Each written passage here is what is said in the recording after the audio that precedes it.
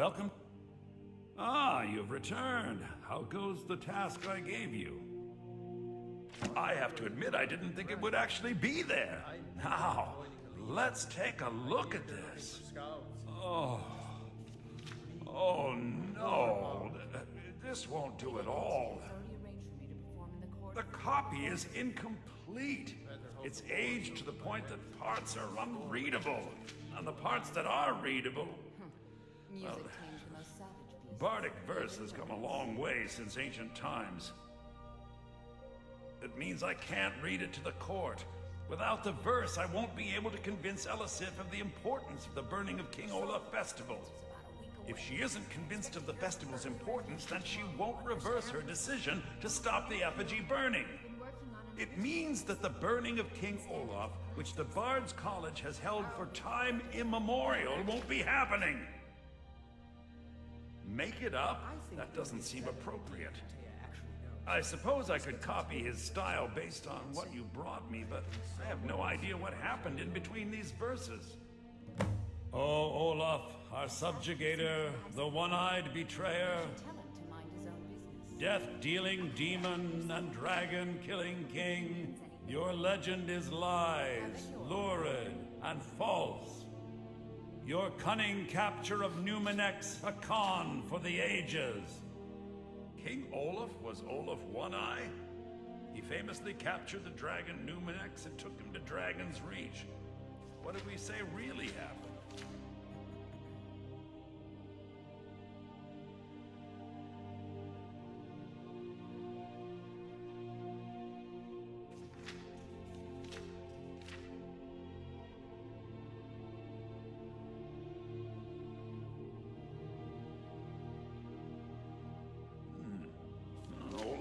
Become king, and Numinex escaped later. It's, it's entirely possible. And I'm sure the court will like that. I'm writing it in. Olaf grabbed power by promise and threat. From Falkreath to Winterhold, they fell to their knees. But Solitude stood strong, Skyrim's truest protectors. Olaf's vengeance was instant, inspired, and wicked. Strange.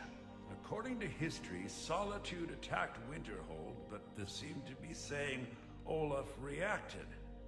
What do we say happened?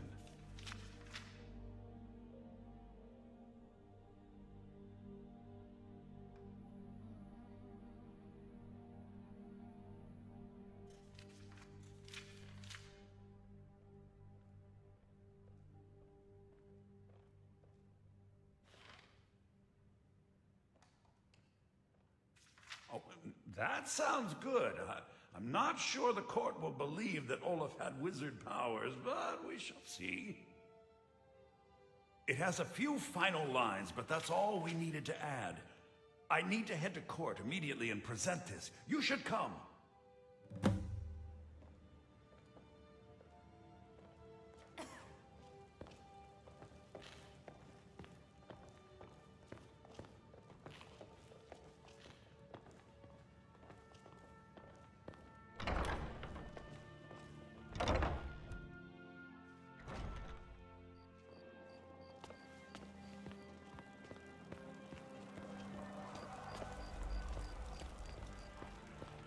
I do hope the court likes the verse. I think we've done an excellent job of recreating it.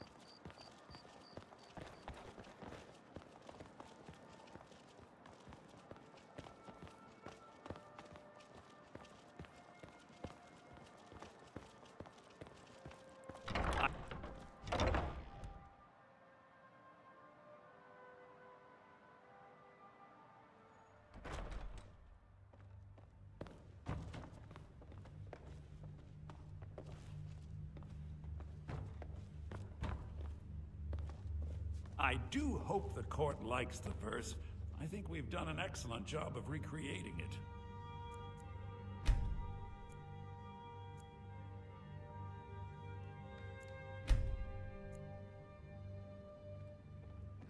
Heard there were wolves on the road up north.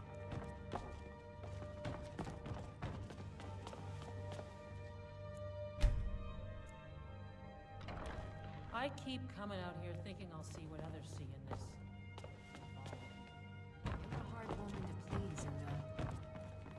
I do hope the court li- I'm pleased when the I think my voice is ready. Verity isn't around. I hope we've done this well.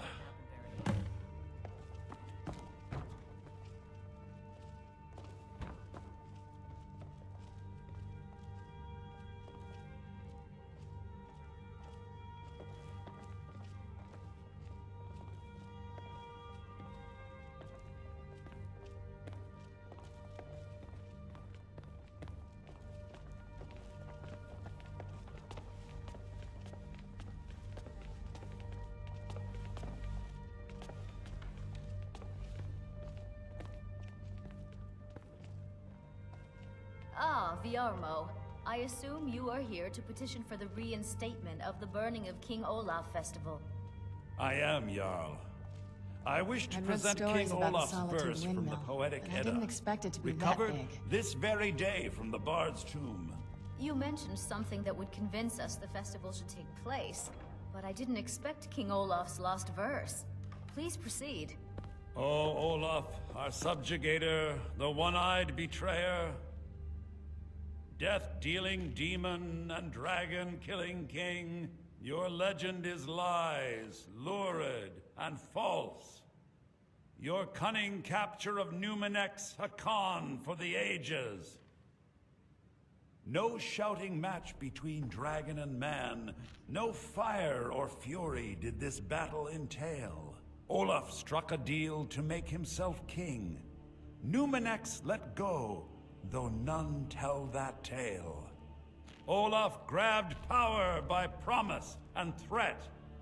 From Falkreath to Winterhold, they fell to their knees. But Solitude stood strong, Skyrim's truest protectors.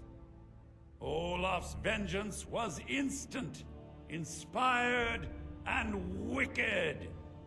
Because Solitude would not soon bend knee, Olaf would hurt them while his status accrued.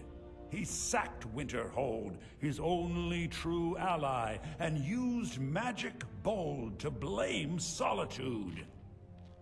So ends the story of Olaf the Liar, a thief and a scoundrel. We of Solitude commit to the fire. In Solitude, bards train for their service. They also gather each year and burn a king who deserves it. You have proven your point, Viarmo. The festival is truly a celebration of solitude and a condemnation of false kings.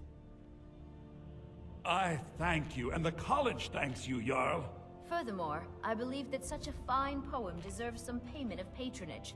The college will be moderately rewarded. Oh, thank you yet again. I will make sure our applicant, who was instrumental in recovering the poem, will be well rewarded. Sybille Stentor Unbelievable. magical theory You've done us a great service here. I can't begin to thank you enough. These are quite Soon, soon. I trust These things must be done properly. You will be inducted as part of the festival itself. I'm also aware of how necessary I it is need you to go speak to the Jorn. Defense. He was preparing the effigy of King Olaf. husband in return. Tell him to finish the preparations. The festival is back on! Not be pleased. And? I've seen Jarls come and go. This one only became Jarl because her husband died. We She'll should have the replaced in a festival soon. months. Miss Stentor, watch your tongue.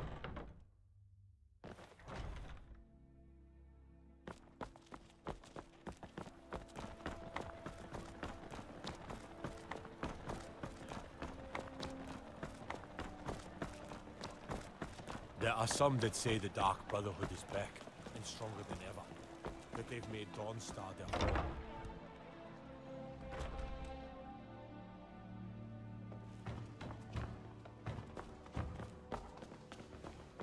Lady Atia says my voice is second only to hers. But she said... Ah, the bard to be. Did Viarmo send you? I'll tell everyone we're ready. But we'll start the festival at dusk. Come talk to me after dark. We'll get the festival started when you do. Youngest bard at the Bard's College, at your service.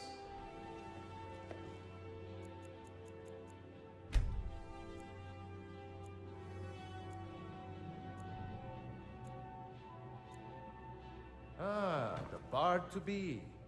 Did Viarmo send you? Great! Looks like you'll be one of us soon. We'll gather outside the college for the burning of King Performance Olaf. has been excellent lately, eh, Aia. You still need training, but one day you will make an adequate singer. Yes, Dean. Thank you. You've done well by restoring our festival.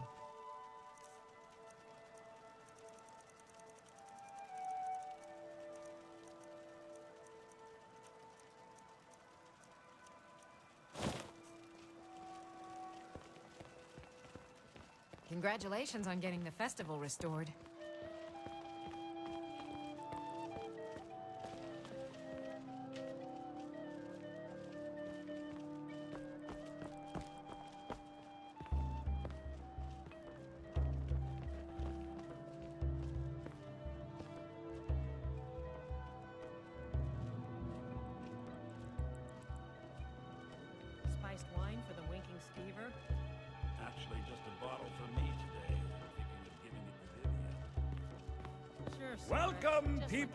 Solitude! We of the Bards College are pleased to be here to celebrate the burning of King Olaf. The festival would not have been possible without the dedication and hard work of our latest applicant. With the lighting of the effigy, he becomes a full-fledged member of the Bards College. Please welcome our newest bard.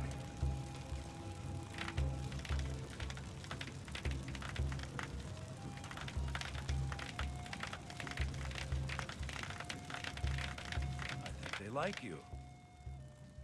Yes, congratulations. You are now a full-fledged member of the Bards College. Due to your adventurous nature, several of the college professors have some things they wish you to do. What's more, Elisif has declared the burning of King Olaf should become a weekly event. And finally, there's the matter of the patronage that Elisif wanted me to give you. So nice to get this break from my cleaning duties.